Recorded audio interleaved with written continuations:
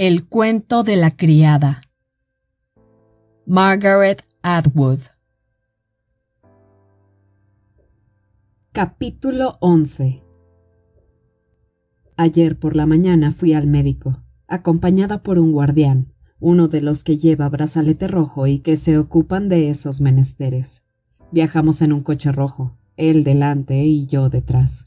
No me acompañaba mi doble, en estas ocasiones soy una solitaria. Me llevan al médico una vez al mes para someterme a diversas pruebas, análisis de orina, de hormonas, biopsia para detectar si hay cáncer, análisis de sangre, igual que antes, salvo que ahora es obligatorio. El consultorio del médico está en un moderno edificio de oficinas. Subimos en el ascensor, silenciosamente, y el guardián y yo quedamos frente a frente. Veo su nuca en el espejo ahumado del ascensor. Cuando llegamos al consultorio, entro. Él espera afuera, en el vestíbulo con otros de los guardianes, y se sienta en una de las sillas instaladas con este fin. En la sala de espera hay otras mujeres, tres de ellas vestidas de rojo. Este médico es un especialista. Nos miramos furtivamente unas a otras, evaluando el tamaño de nuestros respectivos vientres. ¿Alguna de nosotras habrá tenido suerte? El enfermero registra nuestros nombres y los números de nuestros pases en el Compudoc para comprobar si somos quienes tenemos que ser. Es un hombre de unos 40 años, mide alrededor de un metro ochenta y tiene una cicatriz que le atraviesa la mejilla en diagonal. Está escribiendo a máquina y sus manos se ven demasiado grandes en relación al teclado.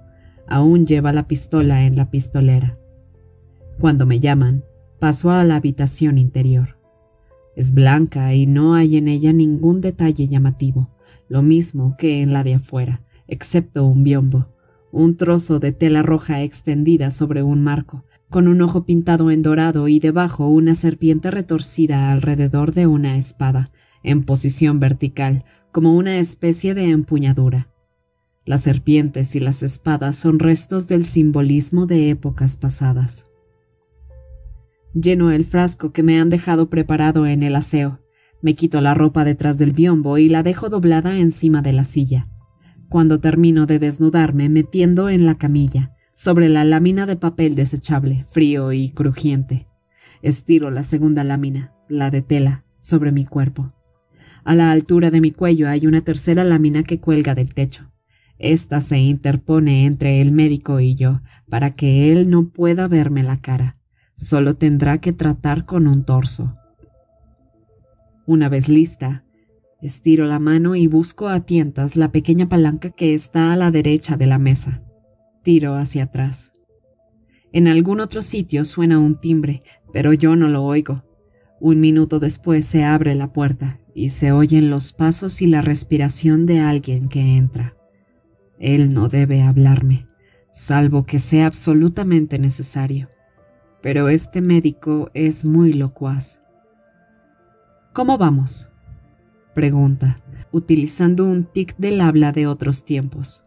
Aparta la lámina de mi piel y un escalofrío me recorre el cuerpo. Un dedo frío, cubierto de goma y gelatina, se desliza dentro de mí, hurga en mi interior. El dedo retrocede, se introduce en diferente dirección y se retira. Todo está bien, comenta, como si hablara consigo mismo. ¿Te duele algo, cariño? Me llama cariño. No, respondo. Ahora le toca el turno a mis pechos, que son palpados en busca de algún absceso. La respiración se acerca. Percibo el olor a humo, alusión para después de afeitar. Luego la voz muy suave cerca de mi cara. Es él que mueve la lámina. Yo podría ayudarte, dice, susurra. ¿Qué?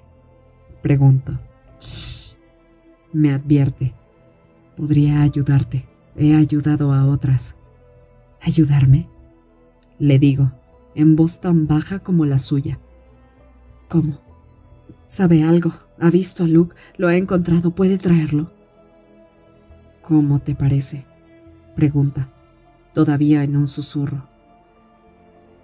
Es su mano la que se desliza por mi pierna. Se está quitando el guante. La puerta está cerrada con llave. Nadie puede entrar. Ninguno de ellos sabría jamás que no es suyo. Levanta la lámina. La parte más baja de su cara está cubierta por la reglamentaria mascarilla blanca de gasa, un par de ojos pardos, una nariz y una cabeza de pelo castaño. Tiene la mano entre mis piernas. La mayoría de esos tíos ya no pueden hacerlo. Me explica, o son estériles. Casi jadeo. Ha pronunciado la palabra prohibida, estéril. Ya no existe nada semejante a un hombre estéril, al menos oficialmente. Solo hay mujeres fértiles y mujeres estériles. Eso dice la ley. Montones de mujeres lo hacen. Prosigue. Tú quieres un bebé, ¿verdad? Sí, admito. Es verdad, y no pregunto la razón porque ya la conozco. Dame hijos o me moriré.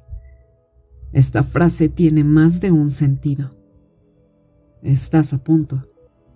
Añade. Ahora es el momento. Hoy o mañana sería perfecto. ¿Por qué desaprovechar la oportunidad? Solo llevaría un minuto, cariño. Así debía de llamar a su esposa. Quizás aún lo hace, pero en realidad es un término genérico.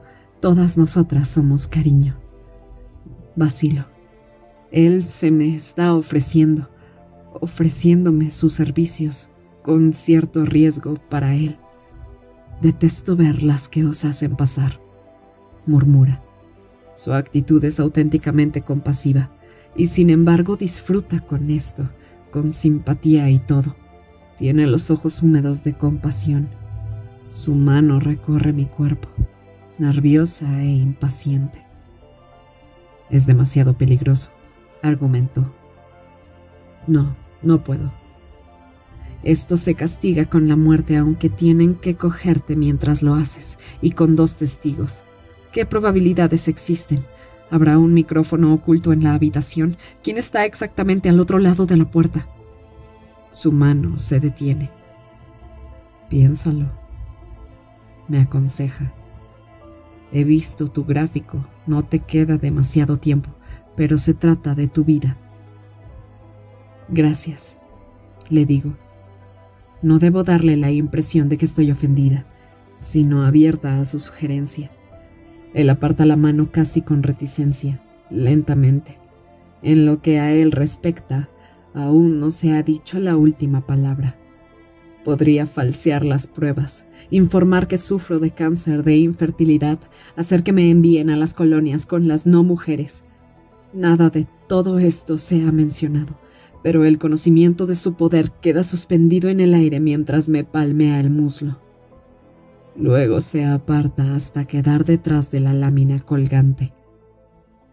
El mes que viene, sugiere. Vuelvo a vestirme detrás del biombo. Me tiemblan las manos, porque estoy asustada. No he excedido ningún límite, no le he dado ninguna esperanza, no he corrido ningún riesgo, todo está a salvo.